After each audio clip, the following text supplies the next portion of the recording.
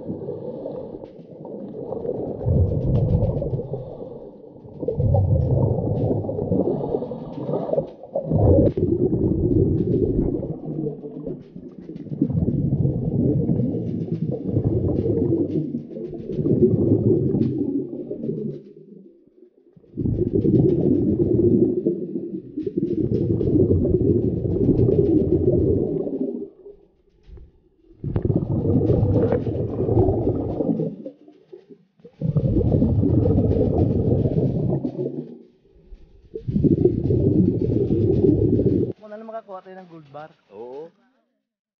Dagdag weights yun. Dagdag weight. Okay, sa pakikot. Tayo.